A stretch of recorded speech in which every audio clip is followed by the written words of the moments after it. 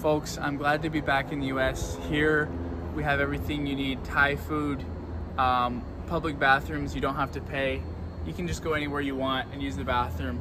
There's way more homeless people, and your fingers are in the lens. Here at a random trolley station in San Diego. Just left a little island, which is like Whidbey Island in uh, Washington, and we're heading to the to the bad part of town to where our hotel's at. Because my mom wanted to go to a place that has literal prostitutes. No offense against them, we support sex work, but it has prostitutes up and down the streets and customers. Anything to say to the fans?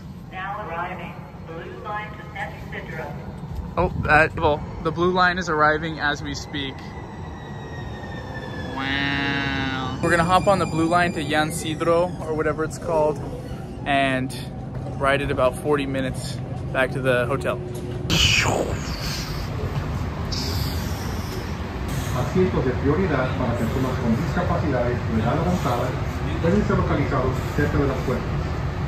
Por favor, hacer estos asientos disponibles cuando sea necesario, en consideración a otros.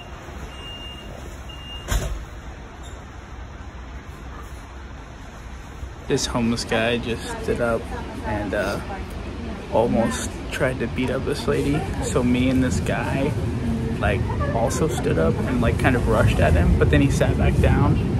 And now we're in a different section of the bus or of the trolley. Like I said, uh, there was a little scuffle on the train. No hands were thrown. The man who was starting the problem uh, eventually got pulled off by the police, and he was very strong. So it took three big police officers, uh, transit cops, to pull him off. And then we just walked home or walked to the hotel, and we're all good now. Just a little highlight on the San Diego trolley. Second day in the U.S. is already more dangerous than my whole almost three months in Mexico, where